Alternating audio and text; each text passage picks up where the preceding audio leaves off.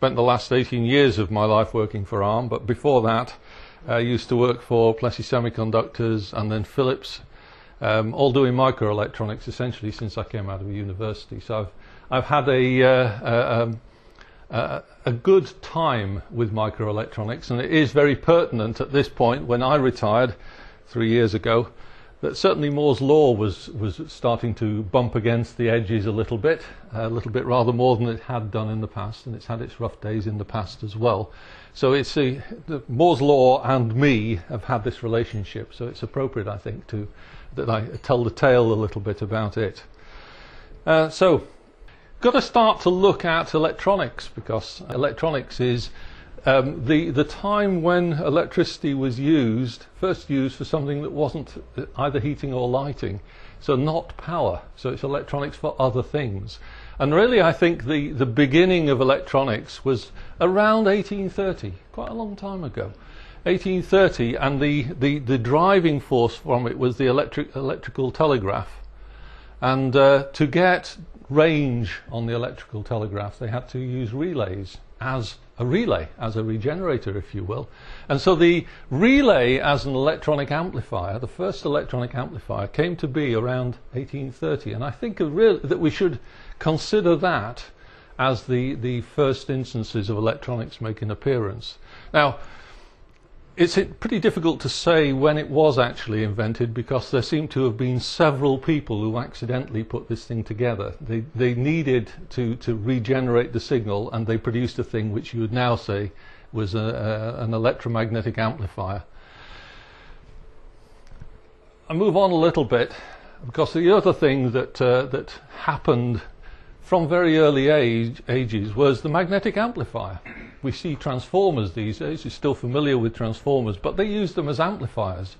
Um, by controlling the saturation point of the core, you control the coupling between the primary and secondary. And it's a fairly simple thing to do, but they used to make control systems of electrical power systems.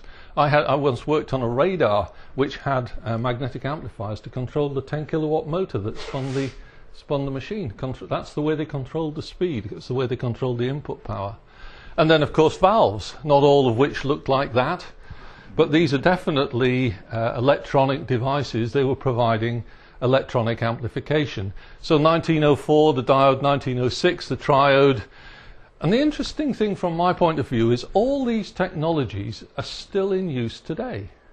So the relay is still there the transformer is still there. Magnetic ampli amplifiers are actually still used in some switch mode power supplies because you can saturate ferrite cores just as easily as you could the old magnetic um, laminated ones.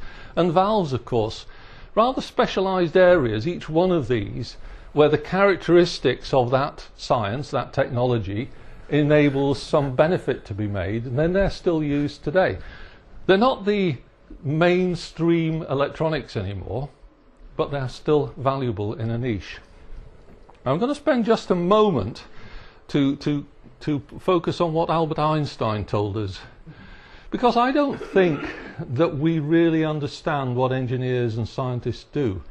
We kind of do it. I used to say that about um, bumblebees, that um, bumblebees, because of the knowledge of aeronautics, they can't possibly fly. They don't have enough wing to, uh, to uh, muscle area. And uh, of course, bumblebees, not really being well educated, don't know that they can't fly. They just sort of flap their wings and they fly. And so I think it's, it's useful to, to pause and ask ourselves, as engineers or scientists, what is it that we do? And Einstein gave us this clue because he said, Einstein, scientists investigate what already is, engineers create what has never been. And it's very thought provoking, actually. And uh, so, but when you break it down a little bit, scientists discover science. So they, they, they take the universe and they identify things in that universe and they discover ways of manipulating them after they've learned to understand them. Now, they don't make products, however, but what they do is they encapsulate the science. And it's the engineers that you expect to exploit that because the engineers their role is exploiting. They're there to deliver something, a thing, a tangible thing, or a, a method, or something which can be exploited for money. we're the money end of this, uh, this exercise.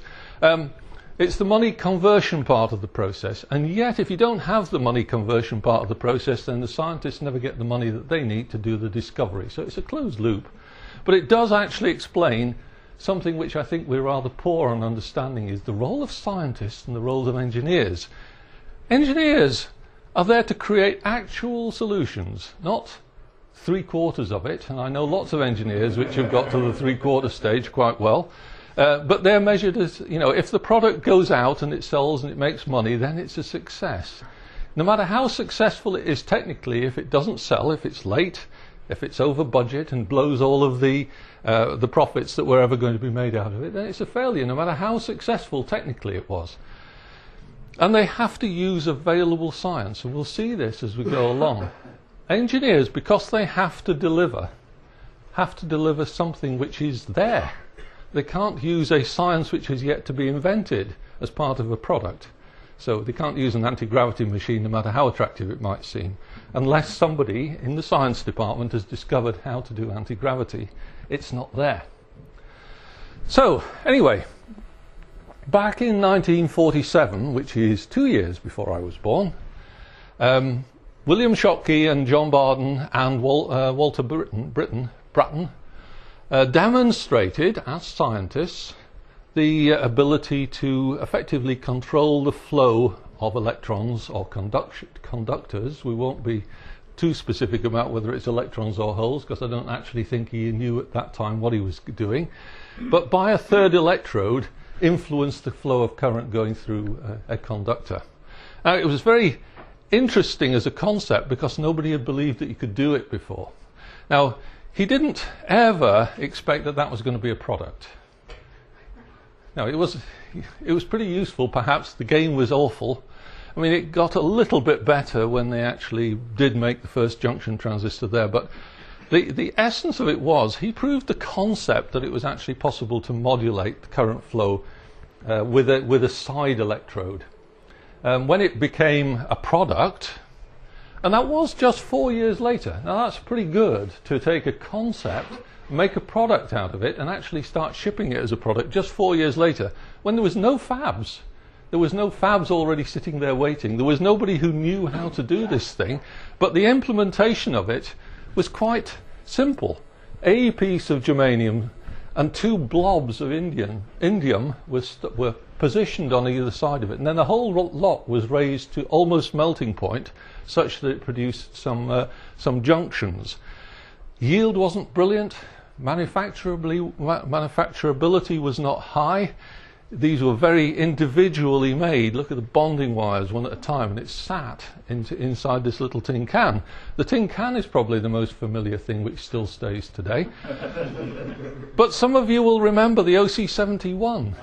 Oh, yes. this was the transistor. Whenever you wanted to do anything which constituted small signal, you used OC71. And when you scraped the paint off it, you got a photodetector, didn't you?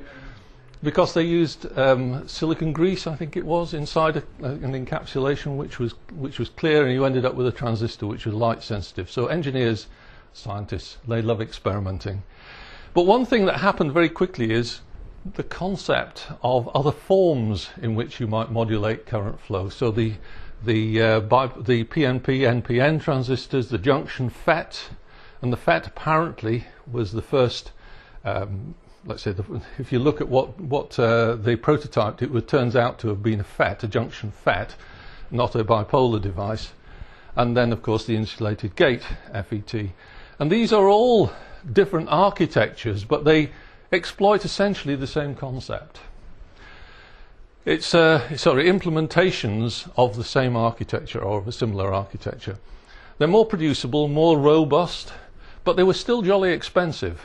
And, uh, and I guess the other thing that was on your Christmas list back those days was a seven transistor radio or a five transistor radio if, you, if your parents were tight. Transistors were expensive, so you had to use them effectively. And so you used analog. used analog a- approaches. It may not be as numerically accurate. Nobody knew anything about numerically accurate at that point. It was whether you could ra- receive Radio Luxembourg or not that mattered. and you got this, this additional functionality out of a transistor, a single transistor, by using it in the analog mode. Now, of course, an awful lot of things move on once you move into the digital domain. It becomes possible to improve the performance, but this was good enough. And it, and it produced a product which was cost effective enough. And those engineers are there to produce cost effective product. Anyway, by 1957 58, the first integrated circuit concept has come about. So it's 1970. What's the other date? I knew I was going to have to do this. 1951, the first commercial transistor. 1957 58. So six years later, the first integrated circuit was demonstrated as a concept. It was enabled by uh, John Jean Hoerni, I never quite know how to pronounce his name, and Jack Kilby over two years. Um, Herney really had uh, had the concept of the planar transistor, putting all the contacts on one side, because you can't really make an integrated circuit if the contacts or some of the contacts are on the bottom. And it seems only a very small architectural change, and the idea of doing a double diffused junction, which nobody had done before. And uh, Jack Kilby, I mean, call that an integrated circuit. Had three components on it, and I think it was as much as anything, you, you know, these are scientists, they were demonstrating the concept.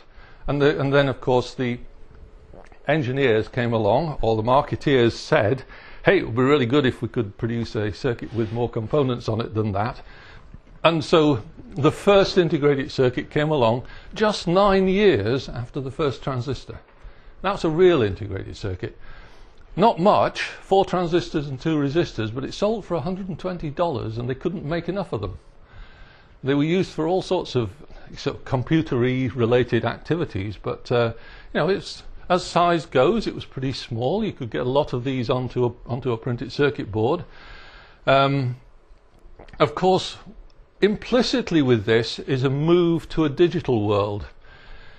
It's not analog anymore this is a switched circuit, it's bistable. And, uh, and the thing that, about that is it's a fairly inefficient use of transistors, but it's a scalable architecture.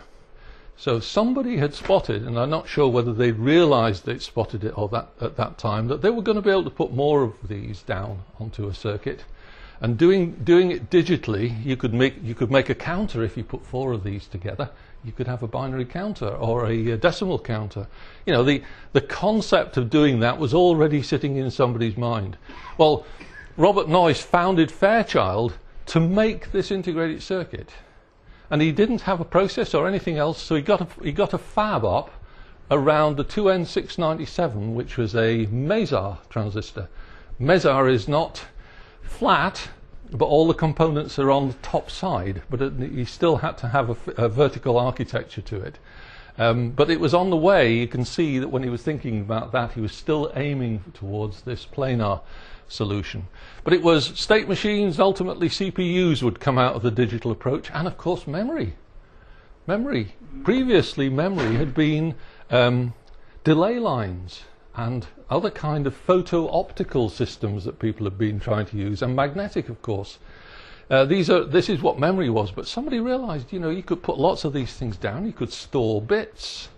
Bits are, uh, if you start, we start manipulating bits, you can use Boolean logic on it, Boolean mathematics to do processes. You know, the, the sky started to be the limit. And by 1968, Robert Noyce and Gordon Moore founded Intel to make memory chips. So they, these guys were quite serious about the opportunity that they'd spotted. Uh, and they, sometime scientists, sometime engineer, but by the time they were going there, it was to make memory. That's what they were about. They, knew, they didn't know what the memory was going to be used for.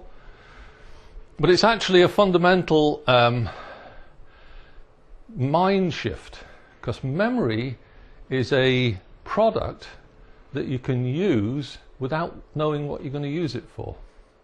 So it's, it's late configuring. You can make the die, make the chip, package the device, and you can use it for conceptually storing a photograph, storing data about your wage packets, or accounts for the country, or anything like that. You just know that memory is going to be useful without knowing what it's going to be used for. Anyway, come 1965, and this is just a shade before Intel was founded. So when, so when Intel laid claim to more to Gordon Moore and say, you know, he's ours, and it was his guy. He wasn't actually working for them at the time. It was 1965 when uh, he wrote an article working for Fairchild. He wrote an article cramming more components into integrated circuits. And Carver Mead, in their book, I can't remember what the name of the book was, in 1970, linked that with, with something which they called Moore's Law. But when he thought of this concept, he was designing for Fairchild chips which had 30 to 40 components on board at that time. And he was anticipating that next year he would be able to design chips with 80 components on it. And he extrapolated, we you know, could have as many as 65,000 components on some of these integrated circuits. Well, actually, you know, it was pretty fair, pretty forward thinking of him. But then I guess a lot of people, as history goes on, they make forward-thinking statements. Not most of them go, not most of them, not all of them work out, but some of them do. And so history tends to be written by the winners and his was a winner. So what does 30 to 40 components look like? So 1975, 65 rather, we had effectively the birth of the 74,000 series of logic devices. You know, two input NAND, two input NOR, two input uh, uh, OR and AND, and some um, XORs. I think only two or three XORs because it pushed the bounds too much. And if you look, that's the implementation of one of those gates in transistor transistor logic, and that amounts to, by the time you multiply that by four, then that amounts to about the 80 the uh, 30 to 40 components. And it used this EDA technique, which is tends to be rather forgotten these days, and this thing which of course we call the guessing stick, which was what it was good for. Um, and, but this, this form factor dates from 1965, and we're still very familiar with it. And of course, here's another example of a technology which was dated back then, but is still useful today. You can still go into the RS catalogue and you can still buy 74,000 series logic. You can buy it in CMOS these days as well, but it still produces the same Boolean functions in the box. Uh, the process technology gives us different architectural options you know, faster or lower power, whichever you want to you want to have. Um, depending on your application, you're able to make make choice of that. But essentially, the system design has been separated from the process. It's worth remembering that. So you've got ECL logic, which came out. You've got I squared C logic. You've got um, there are plenty. There are many forms of logic, some of which just disappeared. Four-phase dynamic logic was one of them um, but was important in its day for, vari- for various reasons. But others are still there, so you still do actually find I squared C logic devices out there. They're very, they're good because you can produce very cheap chips because they're actually a very simple process. Um, and if you're not making something complicated, then that's still perhaps the right way to do it in some things. Now, by 1970, just a shade more, we've, uh, we've moved forward to 300 transistors, 75 gates, and the birth of what was called large scale integration. The previous stuff was actually called medium scale integration, so 7400, but large scale, 300 gates, three, sorry, 75 gates, 300 transistors. You also notice we've moved from devices to transistors. Uh, because if you're do, doing a TTL logic, you've got resistors and you've got diodes in there as well as the transistors. And You also have some funny things like double emitter transistors. Um, but when you move to CMOS, then the only devices in there are two transistors, a PMOS and an NMOS device. The rest of it's metal connecting together, and nobody cares about metal, do they? It's just ways of connecting up transistors. But anyway, by 1970, we got this, this level of complexity that we're now starting to identify. It was so complex, incidentally, it had to go into a big package. A 40, is that 40 or a 24? It's certainly not the 16 pin. Um, it had to go into a big package, and it delivered quite a staggering amount of functionality 16 um, Boolean logic and arithmetic functions on 4 bit operands. But the real breakthrough on this thing is it's, a, it's an architectural expansion right from the beginning. You can take several of these, four of them, and you can put four of them side by side and connect them together on a printed circuit board. And you know that next year you can take those four and you can put them together on a piece of silicon and fit the same die. You've now recognized the value of Moore's law. why would you want to do that? Well, four fours are, are, are 16, so you can make a 16-bit process, a 16-bit arithmetic block, which is going to, to fit onto the, to the piece of silicon that today you can only put a 4-bit block on. Um, so it can be paralleled on a PC board or on the next generation of process. Now, digital architecture, I've already said it, is largely process and technology ge- geometry independent, which is fantastic because it means that you can start to reuse function blocks rather than have to design them again from scratch. Traditionally, everything that I've talked about up till now has been designed on a clean piece of paper with a pencil. And uh, you, it was the worst thing you could do as an engineer, and that's to take any guidance from anybody who's done it before. You always want to do it yourself. You want to do it the way that you want to do it because it's better. And the idea of starting to use, first of all, logic blocks and then these LSI logic blocks to create systems was rebelled against by the engineers. Um, it was really only desperation, productivity. They were being driven hard by their bosses to get their product out. And the only way they could do that is to use standard components rather than do it themselves. The masks on these things were pretty cheap. You could get turnarounds, you could get masks for, thou- for thousands, prototype devices for thousands, and turnarounds in a couple of weeks. They were very quick.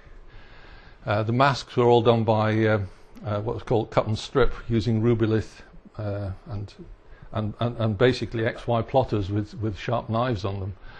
But I want you to bear in mind this block because it's a 4-bit ALU. And when we, when we go forward with the processes, you'll see the 4-bit ALU come up in other areas. Now that 300 transistor capability re really enabled the emergence of the mainframe computer. Up until that time, there had been mainframe computers using earlier technologies, including valves, um, including relays, I understand. But I've never seen an example of that. But it was the 74 series and the LSI really made computers uh, affordable. But if you go looking for the computer here, you'll see, well, that's obviously the monitor. That's your tape storage, so your bulk memory. Those are two line printers. So that's your, out, your output device. Uh, somewhere out of sight on this thing is your input device, which is a tape reader, which, uh, which you sat down and laboriously, with a teletype, punched holes, 8-bit holes in a, in a piece of tape which ran on forever. The processor is in these cabinets back here. And that part, over the next couple of years, diminished from cabinets to a small rack. Such that when I went to university in 1972, there was LSI 11s, which were the uh, digital uh, computer, was actually in a box this big, that tall, and that deep. And it had been, its predecessor had been in several racks. So this is again the level of integration, but you can't see it very easily there. These line printers, if you've never looked at them, are fascinating in, them, in themselves. You, you know the answer to that. These are printing, printing lines and they have long tape with all the letters of the alphabet on the tape. And then you have a row of little electromagnets. And as the letters zoom backwards and forwards, the electromagnets hit the appropriate letter against the paper. And it was phenomenal. This is from an era when you didn't really have the electronics ability that you have now to produce machines that were capable of doing this. It's phenomenal. But the power available was around one MIP. So all of that lot gave you about a MIP. You've got hundreds to thousands of MIPs in your smartphone today. And in those, in those days, you had a MIP, and it was shared using batch schemes because you, you know, nobody could afford to have all of this. And the predominant users were the accounts departments because they had numerical applications. Some universities had one or two. But electronic designers didn't start to use these for nearly another half decade because electronic design wasn't seen as mathematical. It was you know, that was another thing. Some, somebody hadn't got around to the art to thinking about modeling logic as a mathematical process, which was uh, uh which was targeted at computers. Anyway, 1971, we now come to the 4004. And this was very clever because essentially it was still using the 300 transistor level of integration capacity, but they'd use PMOS dynamic logic to achieve that result because that enabled them to use minimum size transistors and to stack them in rather more effectively. But it was a rather wacky uh, implementation. And if you look at the the architectural diagram now, you'll see that here's the ALU that we've talked about before.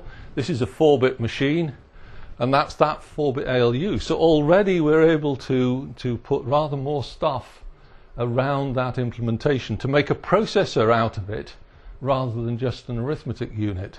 Now, it wasn't made as a general purpose programmable computer, it was made as um, an engine for that calculator. So it was a calculator which was designed as Busicom, it was sold as Unicom, but essentially the input were the buttons, the output was a printer, there was no memory in it.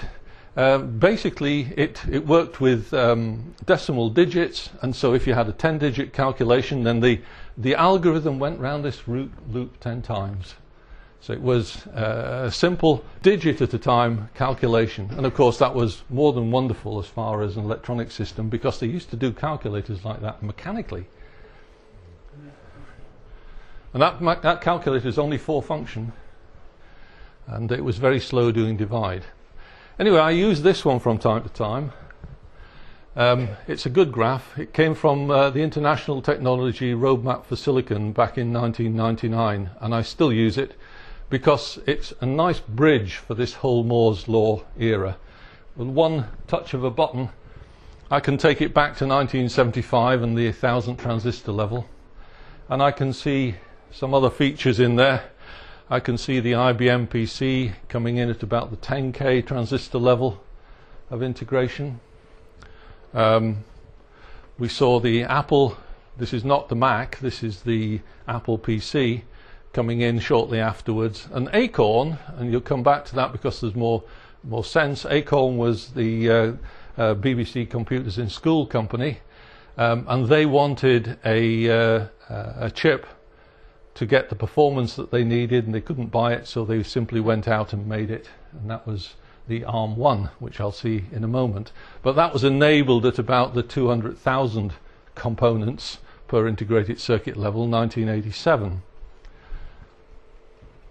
and that's what the the uh, ARM1 looked like. It was a 32-bit processor, 35,000 gates, 140k transistors. So that's using four, transist four transistors per gate, which is the normal calculation ratio. And it's interesting now because you can see there's a 32-bit ALU and there's the 34-bit ALU that we we showed earlier that's one chip now. So the ALU has gone in this relatively short period of time from being everything you could possibly produce in one chip to being something which is just a corner, or even not even a corner of the chip, just a little small piece of it. And uh, so it's the ARM 32-bit processor, which in those days meant Acorn RISC machine. Um, 32-bit data path, 24-bit address, 8 megahertz. I mean, everything about this was blistering. A data path which is that wide. Um, who could possibly ever want more address than 24 bits of memory could give you? That's huge. 8 megahertz. I mean, previously we've been talking about these things ticking over in the, in the hundreds of kilohertz regions. So the, this is a phenomenal amount of processing power that you now start to have, and it was targeted at every school. So this isn't big businesses anymore. It isn't just accounts department in big businesses anymore. It's not just the leading research departments in, in leading universities. It's everywhere. But it's only one per school. It's not one per class even. It's just one per school. And they got pretty close to delivering it. But Acorn, they screwed up by not having a big enough imagination because they, they had set up a manufacturing facility to enable them to make all of the computers that the BBC program needed. So that was essentially however many schools there are in the UK, in Australia and New Zealand, but not the rest of the world. IBM, on the other hand, suddenly realized that this was a big thing and actually it needed to be attract, uh, attacked in a worldwide level. And so they marketed to the rest of the world right from the beginning. And uh, so when eventually Acorn and IBM bumped into each other, then Acorn lost. Now, because Acorn lost, however, ARM happened. So if Acorn hadn't lost, it would have been a different story. Um, now, we still got, in 1991, we've now got a level of integration which made this available as a concept. So now here's that ARM one as an implementation. It's actually now a little bit a little bit changed. It's got 32-bit address space now, not just 24, and there's some other aspects of it which were which were implemented in dynamic logic to make them more uh, efficient have now been moved out into static logic um, to make them more robust and reusable. But the idea, at least, was inside a chip. By the time we've got to 1991, you can't fill it with the processor anymore. You need to put some other stuff in there.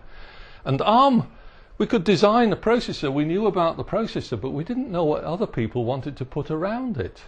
You know, there are market opportunities out there, and people who knew about medicine, who knew about um, traffic systems, people who are thinking about things like uh, global positioning, the people working on cell phones, all of those have a need for, for a processor but they, but they also have other, other logical functionality which they want to put down, which is specialized for their markets.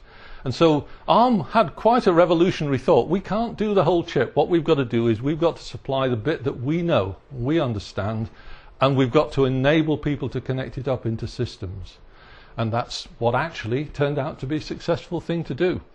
So this is the CPU, still more or less the same block diagram, still now a 32-bit ALU, and you can see here the, st the structure of the, the CPU is still more or less the same, but that little bit down there is the entire 32-bit ALU, uh, sort of lost in the, not even on the corner, even just a little, almost a speck of dust. The 4-bit ALU, well, it's one of the dots on that, so it's not filling a chip anymore. In 20 years, since the 4-bit ALU became a tiny part of a 32-bit RISC processor, which in turn is a small part of a typical chip today. Moore's law in action. This is the real pace of Moore's law. And one of the problems that I'd heard said to me a number of times is Moore's law is only doubling in complexity every 12 to 18 months. If it was faster, people would take it serious. The problem is that every one of these design steps was just a case of, well, it's only twice what you did before. It's only twice as many transistors, only twice as big a logic circuit.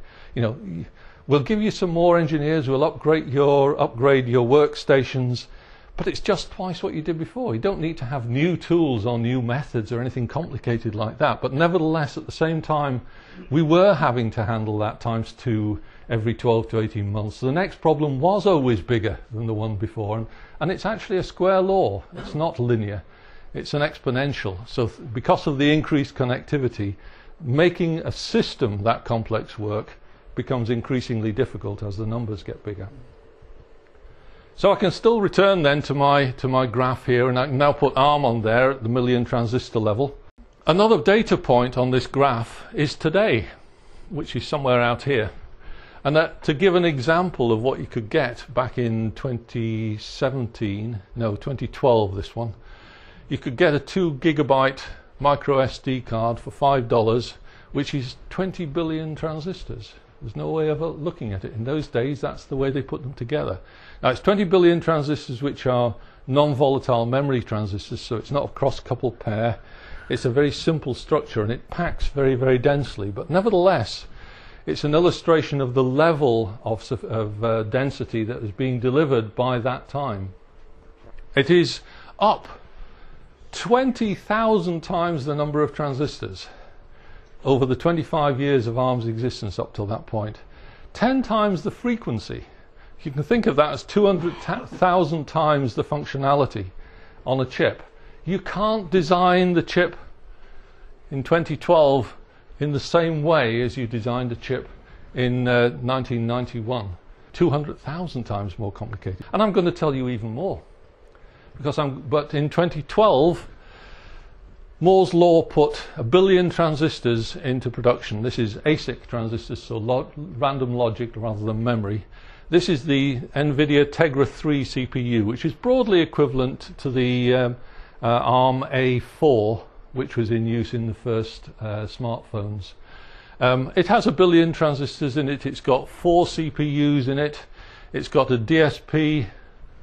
Can't see which of the blocks it is. It doesn't really matter and shouldn't get diverted to it too much. Uh, but that was all together in one chip, amounted to a billion transistors on 28 micron. Um, you can see how big it is. It's not very big. Um, but the other thing you notice about it is you can't see any of the structures on this anymore. It's just a blur. These are only visible because a large part of them are, actually memory, because these, these are the CPUs. So one of those little ARM CPUs is one of the small grey boxes on here. These are cache memories, which are just local memory to the CPU to make them faster. And as you zoom in with an electron microscope, then eventually you get to a point where you can start to see the metal the interconnectivity. This one has been stripped back so you can actually see the metal and is not blinded by the uh, insulation layers. And you can see that there's three other transistors. Three of the transistors. There's, don't forget this one has got 999,000 million brothers in there. When they wired this chip up, when it was implemented, when it was laid out, when the masks were made for it, when the design was, uh, when the, the um, timing loops were checked, they had to be checked for every transistor. You can't generalize it. They have to be done at that individual level. So we may use hierarchical design methods in the architecture of the, of the chip. We use Boolean methodology and blocks and higher, higher and higher level blocks. But there are still transistors, individual transistors at the bottom of all this lot. And those individual transistors are sitting with multiple layers of metal on top of them. So it's not just one layer of metal anymore, it's multiple layers. And in fact, currently, 10 layers is not at all uncommon. So you get another 10 times functional density simply because, because of the complexity of the thing that you're now able to produce. So that 200,000 that I was talking about is actually closer to 2 million. But it's much more difficult to count it in terms of um, polygons anymore because you're actually talking about functionality.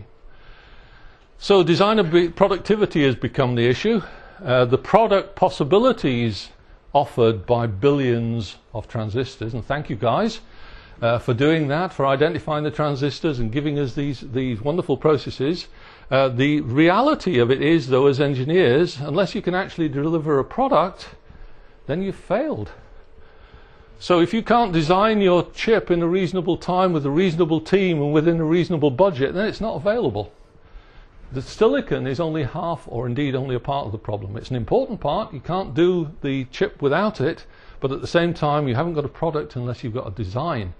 And it's not an effective product unless it makes use of what that chip can do for you. So it's really got to make use of as large a number of the transistors that you can access as possible.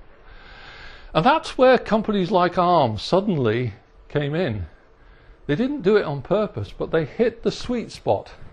They were offering a CPU at the time when people were facing a design problem and they needed a large block of something to put in there to, to move part of the design into the uh, retrospective domain. They could put a chip together with a CPU, with memory, and they effectively they could add the detail to make it work after they finished the chip. So you could write that as software. They enabled the software to defer the design, and they introduced it at a chip level, which it hadn't been done before. So we come back to the productivity graph, which I talked about, and that shows the uh, what the exponential gap looks like in, in numbers moved from sub 100, which was affordable, to not to levels which are never going to happen. And it got worse because verification came up as a problem as well. You need to have increasingly complex circuits outside of the thing you're designing to confirm that it works. So you end up making big test benches, designing big test benches to sit around the thing that you're actually designing just to confirm it works. And it's the consequence of which was we had to move from single designers through small teams, local teams, to global teams. And global only happened, of course, because of the self sustaining nature of this. The internet came about, personal computer came about, networking came about. It became possible to have global teams because global teams could communicate, and they could communicate like they were in the same room. And it, the things that they were uh, using, clean sheet design became some reuse. Essentially, the logic level family became hardware and software reuse. We're not just talking about systems which are hardware only, we're talking about systems which have got software in as well. You start to reuse operating systems, you start to reuse stacks, so TCP IP stacks and communication protocols, and you start to use expertise. So people who are expert on DSP design, so people who are expert at rendering images to make, you know, a smartphone these days doesn't just have little square buttons, it has buttons that have texture. They've got shading in them. They make clicks and they look real as you push a button. It actually changes the shading around it. All of this lot costs expertise. And the chip then to produce this doesn't just use one company anymore. It uses other companies to contribute, and that's where Armad come in. Armad contributed this software interface into the system producers, and without then very large amounts of reuse, today's electronic systems wouldn't be possible. They wouldn't just wouldn't be able to implement them. So ARM's CPU family is not just one processor, it's a range of processors. Um, from 50,000 transistors to 50 million transistors. So that's a scale of processors. The family, a few years ago now, so this is not bang up to date, had 24 processors in it. You could go into the to their um, website and you can see the devices which are available and you could choose from 20, across the range of 24 of them for whatever it is that your application needed. And of course, it's not just processors, you've got to find a way of connecting them together. So, this is a, a framework which is given to the customer who's designing a chip to help him to design a chip. These are sockets, if you like, when you can drop your processes that you want in. You can get a simulation model straight out of it. You can write software for it and you can look at the performance of it entirely in computer land. It doesn't have to, you can assess what the hardware is going to be before you have to create it. And let's put a scale on this. One, two, three, four quad processors. So 16 processors in that block. DSPs, there are three illustrated there, but it'll take eight.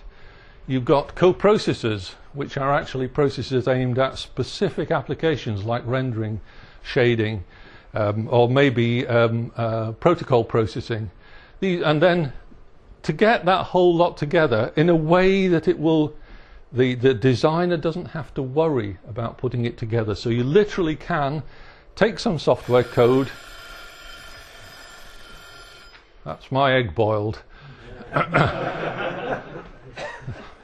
give myself another few minutes, if you don't mind. and uh, you've got to ha- you've got to have the way to connect these things together without having to worry about where every wire goes. You've got to be able to connect these things together without worrying about how you're going to test it. Uh, and all of, all of these are supported by this innocent looking framework. And the other thing that's supported is the software design environment. ARM isn't a company on its own. There are in, the, in these days, 2012, I don't know what it is now, there were 200 companies who are what ARM call partners. These are people who take some of ARM's IP, which has now become a wide spectrum of product offering, they take it and they use it to produce their own products. And their own products may be a chip or they may be an entire system. So you've got a suite of software tools, software tools to support early system development on software. So here you can prototype your hardware, you can do, you can write code on it, you can assess performance, measure performance on it, and change the hardware before you do the chip design. And then inside, inside the typical smartphone, there is actually 20 integrated circuits. Most people think of there just being one. Uh, some of them are specialized in special areas, but they can't really be combined into one chip for various technical operating reasons. And we've seen in the main CPU how that integrates, but the ARM component of it is just illustrated here as a component of a chip, which is a chip in a system of which there are 20 other chips. And ARM finds itself in all of those chips because some people need just a simple bit of processing memory, uh, processor and memory just to do simple control systems. Other people need the the highest performance processor that you can get as the main CPU for doing the, the graphical and, and system support aspects. And different things need different things. Wi Fi needs one, GPS needs one, Bluetooth needs one. They are all just uh, integrations, and all of which take ARM IP in one way or another as an aid to productivity. And that's the thing. They're out trying to get their products out as quickly as possible. They don't basically care what the technology is, which is underneath it. What they're trying to do is to deliver a product. These are all digital products and therefore are inefficient by definition. But you've got billions of transistors, so you don't care too much about the inefficiency. Moore's vision then was maintained for around 60 years. You'll find I've used numbers of 50, 60, and 70 in here. Um, and because I couldn't make up my mind exactly when Moore's law started, but it's at that, that uh, scale of era. But you can see that even in the process, this hasn't gone on as one company doing all of the work. Transistors and process architectures, yes, they need it to be developed. And this guy, Asen Asenov in uh, Edinburgh University, modeling individual atoms and their positions inside transistors. That's the smallest geometry stuff. But it's absolutely stunning work that he's done based on the physics, the, the mathematics of the physical processes which support um, the different types of uh, you know P or N type materials and the field effects of the, those atoms. I mean, it's phenomenal stuff that he's doing. F- perversely, he gets more and more powerful computers as, as the processes geom- uh, geometries get smaller, but also the transistors get simpler because there's fewer atoms in them.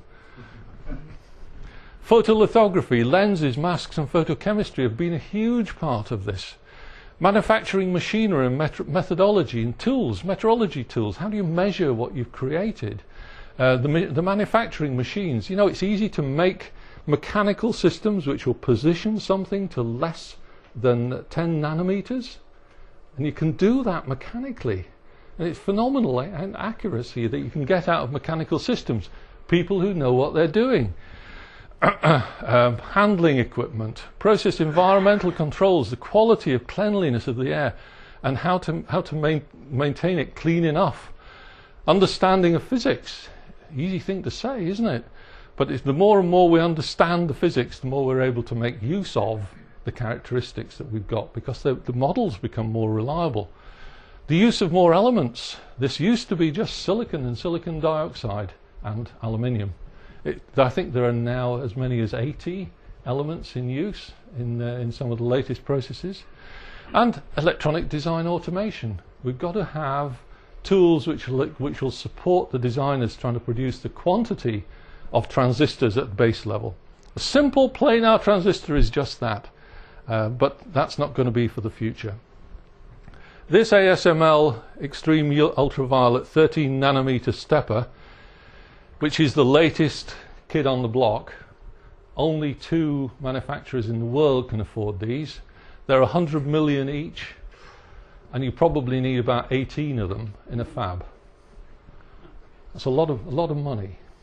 It's taken a lot of money to develop these. It's been in IMEC in Belgium for goodness knows how long 15 ish years.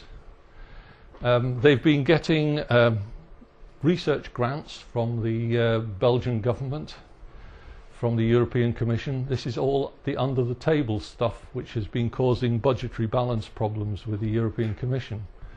But you can imagine how much money has been poured into that. It's, this is a, uh, an X-ray optical path, so they can't use lenses, they can only use mirrors. It's got to have an X-ray source which produces 200 watts of 13 nanometer light um, and to produce that 200 watts, that's for a product production throughput rate, so it's to illuminate a wafer through, not through, reflecting off a mask um, in a reasonable period of time. You can't have a wafer sitting there for hours. You know, minutes is long enough. Seconds is desirable. They need 200 watts, and the 200 watts they get by vaporizing particles of tin, pure tin, with a 27 kilowatt carbon monoxide laser. So pretty serious stuff to produce uh, to produce just 200 watts of uh, a fairly small light. And you can see also this is the Apple A7 chip, so this is the sort of thing which is sitting in your smartphone. And somewhere down there, right at the very bottom, is the active layer. That's where the transistors are. All of these are layers of metal sat on top of it. So we're talking about 10 or more layers of metal on top of a process. Well, this is, this is to maintain Moore's law. It's not Intel that maintains Moore's law. It's teamwork that's maintained Moore's law. those pieces of metal connect through presumably downwards. Yes, they do. Yeah, they go. They connect up and down. Uh, transistors are getting ever smaller, but not the atoms. So now we come to the to the uh, to the rub. The silicon crystal lattice is at 0.54 of a nanometer, and today's transistor 27, uh, 2017 was 20 nanometers. So you can see the number of atoms is now down to the low hundreds. So inside a transistor, you've only got a finite number of atoms. In the channel, you've only got a finite number of atoms. If you know anything about process technology, you'll also know that the implants which are necessary to make it into p-type or n-type are measured in the region of one atom per 10 to the 6 to 10 to the 9. So they're, they're purely one, one dopant atom every, every million to thousand million trans, uh, regular silicon atoms. So there's every probability that there isn't an, an impurity in your transistor. So the effects of these uh, these atoms is actually uh, of the impurity atoms is quite long range. So we've already at a, at a place which is seriously difficult to make. So the transistor has moved from the bulk model through the grainy model to the atom level, and honestly, by the time you get to 14 nanometers, you don't know what you're doing. The atom is a statistical thing; it's only a probability, you know, and and we're now playing with transistors at the levels of probability. Things like Dennard scaling, which has been a driver of the industry for most of this time, Dennard scaling was, was a, a wonderful present to the industry. Dennard scaling said every Moore's Law step, you got um, the, the, the, the chip went down to a quarter of the size. Because the chip was smaller, the capacitances were smaller. The gains of the transistors were about the same because that's ratio of width to length. Uh, and so you ended up with improving power dissipation, so lower dissipation, increased speed, and reduced cost. And this, this kept the industry alive for years. You could make a chip today, it didn't matter if it was over power budget, didn't matter if it was touch and go about whether it was fast enough, didn't matter if it was expensive, because next generation you could afford it, the yield would go up, and the speed would go up. So it was fantastic. But Dennard scaling, scaling stopped at 100 nanometers. So we're already at 20 nanometers when, uh, where I was saying where we were. That's the 30, 130 nanometers, and a, and a lot of processes these days are still available at 130. This was never the case historically. People only produced the smallest, latest process, but, uh, but now the fabs, older fabs, are still staying in business. Back here, the design process was much easier. You didn't have to try and take into account all of these um, atomic variabilities. You didn't have to take into account all of the optical problems that we we were describing earlier. It was easier to close the timing loops. Uh, all, the, the 100 nanometers made a lot of difficult, a lot of difference. So you have difficulty making the, the transistors. They need lots more structure, and I'll touch on that momentarily.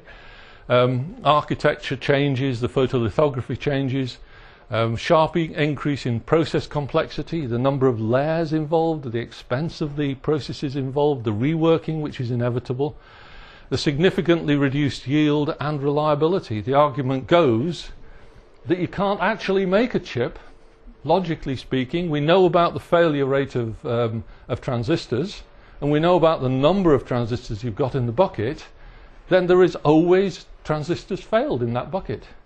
Chips work, so it's a, it's, this is a uh, harbinger of doom type comment. You know, we can't possibly make a chip that works because statistics tell us it can't, and yet it does.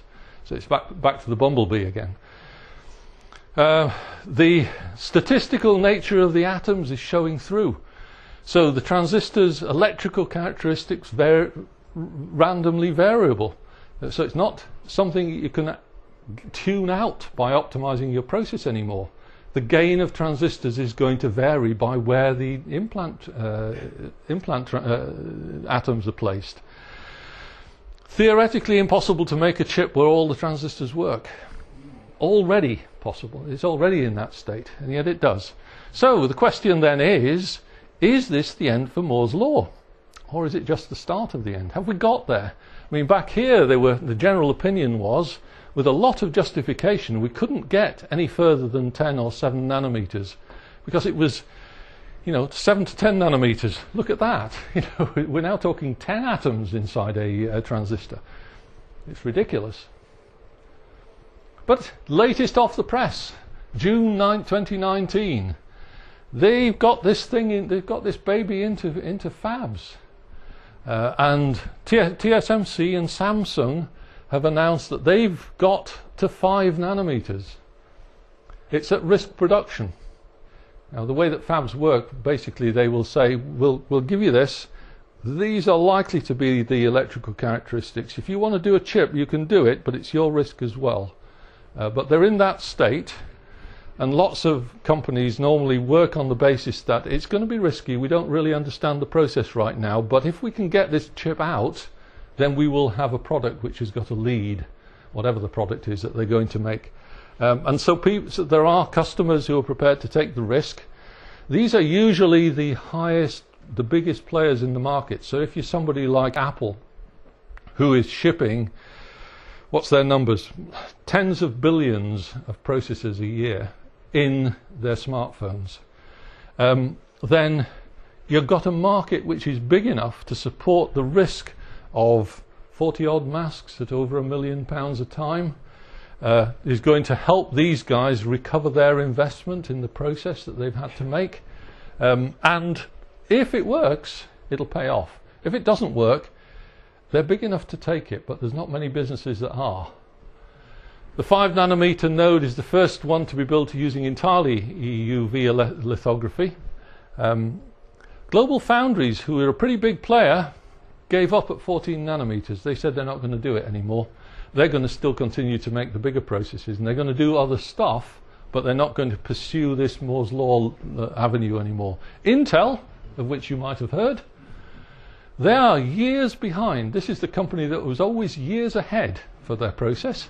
They're years behind, and the, and the process that they're talking about developing is 7 nanometers, so it's not even 5 nanometers. That's my extra egg. Who wants another couple of minutes? Yes. All right. right. We're getting to the end. Maybe you'll be pleased to know I don't know. So if you can't make it smaller, you can stack them higher. And that is a lot to be said for that. Because here's our two here's our two-dimensional transistor. That's the source, the drain is on the other side. That's the gate, which is um, uh, uh, uh, polysilicon, and a little thin layer of oxide just underneath the gate separates the gate from the drain and source. So that you put voltage on here, and the source becomes electrically conductive.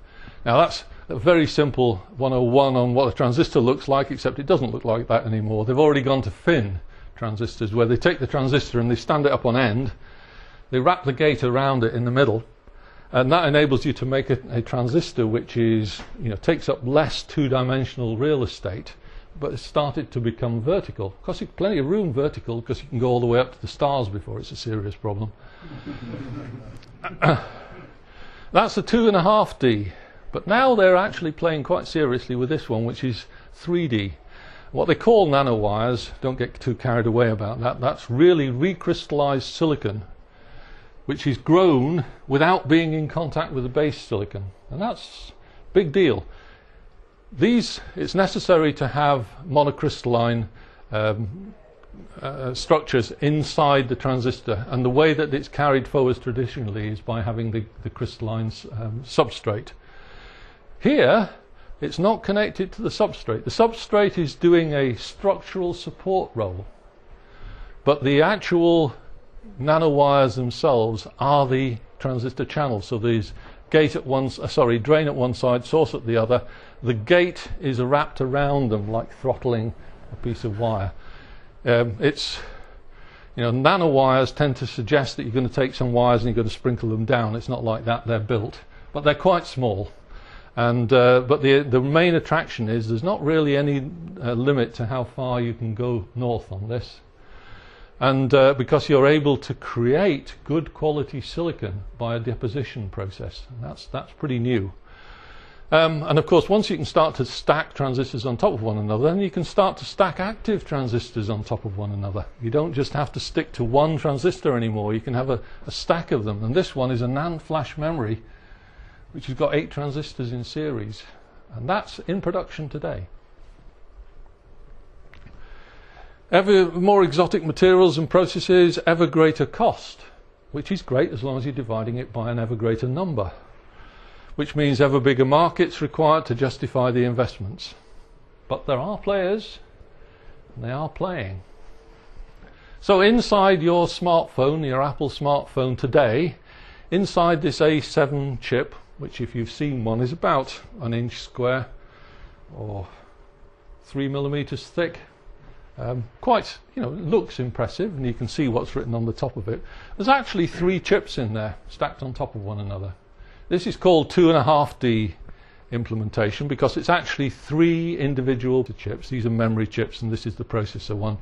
They're sat on top of one another. There's some more connectivity inside the package to connect them up to, into sensible configurations. And as I said earlier, the chip, the processor chip itself, has probably got 10 layers of metallization on top of it as well. So there's already a lot of this three dimensional um, packaging going on in the products that you're buying in the market today. And this is round the corner.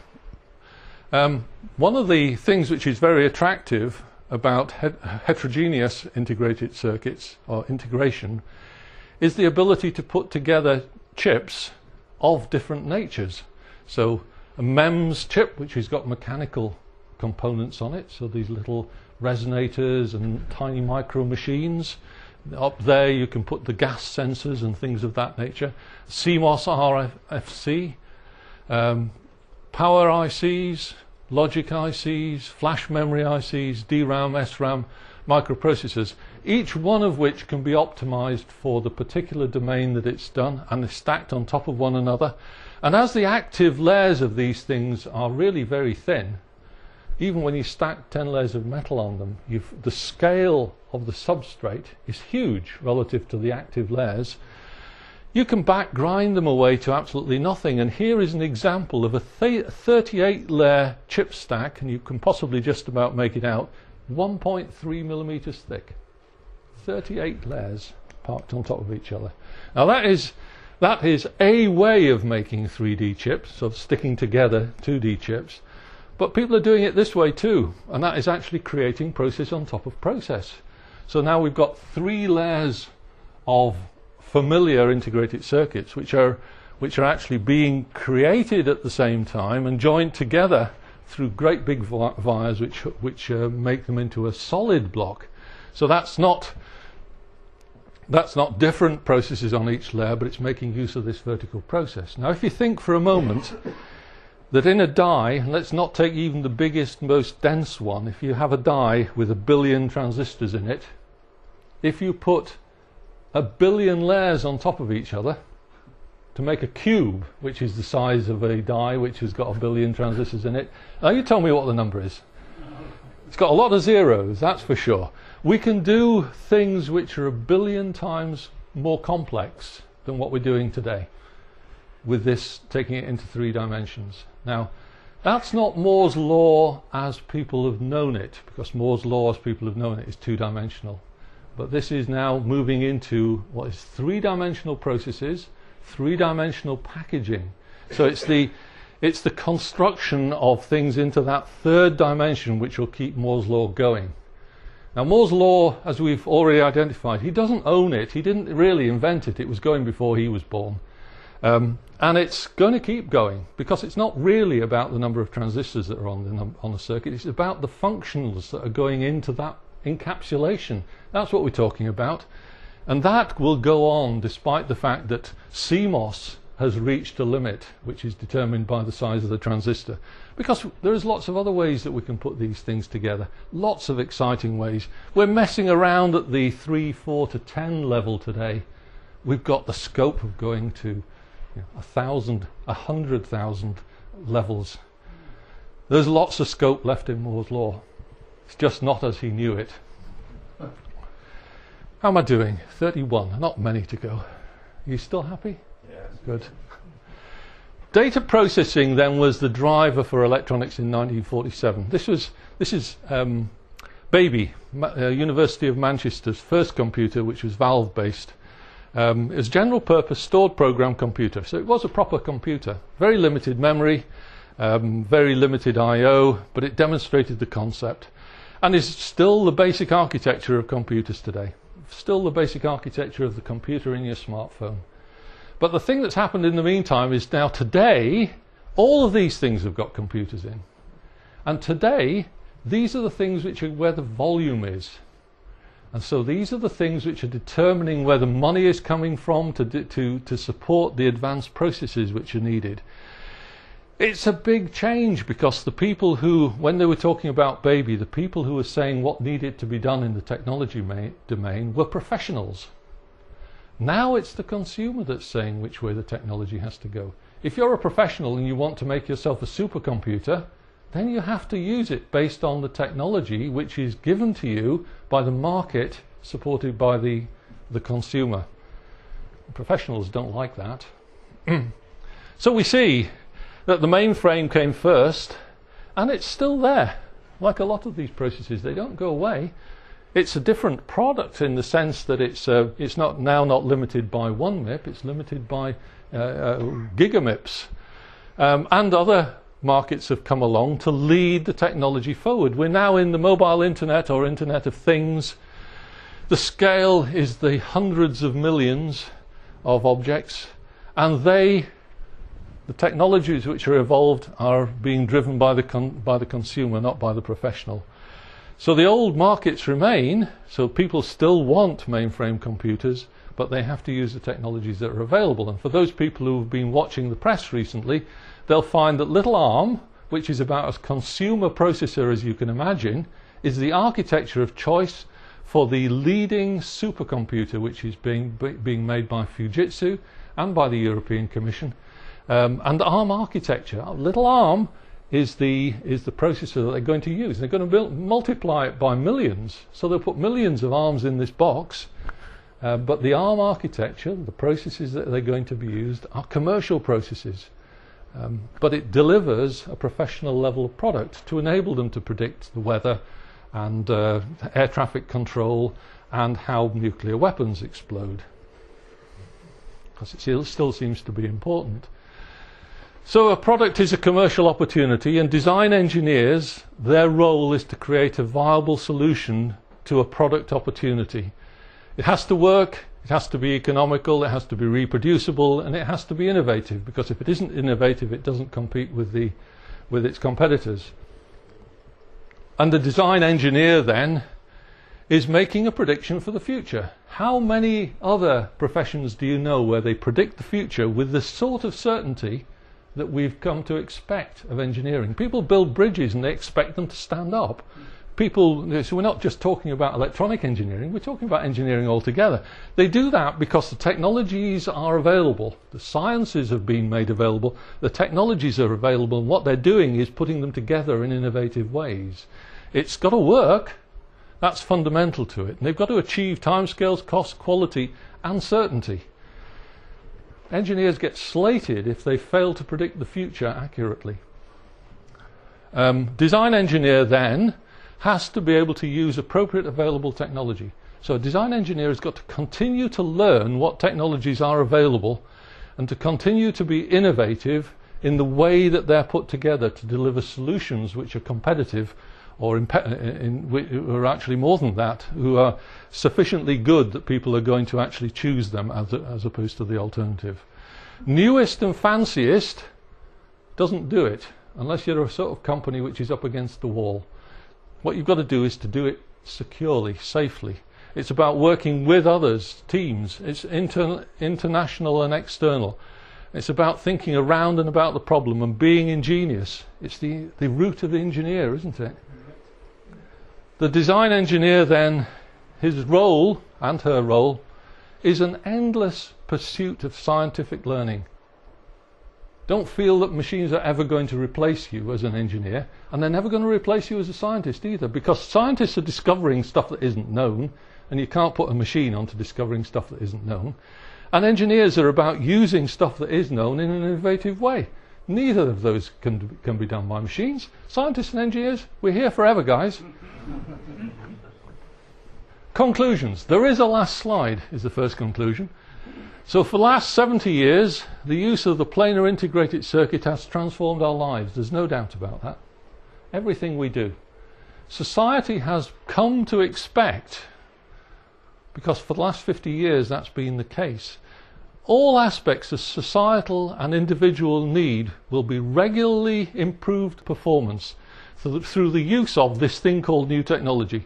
But actually, most people have no idea what that means. They know what the word technology is, but they don't know what it means. Uh, Moore's law has delivered this, and that's probably the biggest problem that we face here, is that Moore's law has delivered it for the last 70 years, and the assumption is it will continue to do so. But as we know, it can't go on like it has, it's got to change. As the transistor approaches the size of the atom, then it must end, even if it doesn't end at 5 nanometers. It certainly has to end at 0.5 of a nanometer. There's nothing below that as far as atoms go. You wouldn't even know for sure where the, where the transistor was at that stage, I suspect. uh, so, Moore's law will continue at the system level. And that's my conclusion. Uh, the solid state silicon electronic transistor is still fundamental to this but it's not the epicenter anymore. The epicenter is how you make systems work, how you design them, how you make them work, how you get any kind of yield out of it, how you make it economically. All of those things, and the transistor is a fundamental part of it, like cement is to a house. It holds the bricks together. It's a necessary part of it, but it's not the core of it anymore. 3D packaging, 3D packaging and assembly are the thing that will maintain Moore's law for a long time, maybe for a very long time. The size of the silicon atom is forcing a rethink of the future for planar technology, but, but, oh, that was another line, wasn't there? Full exploitation will take, will multiply silicon capacity a billionfold. Big smiley. Thank you for listening and uh, the report of my death is greatly exaggerated.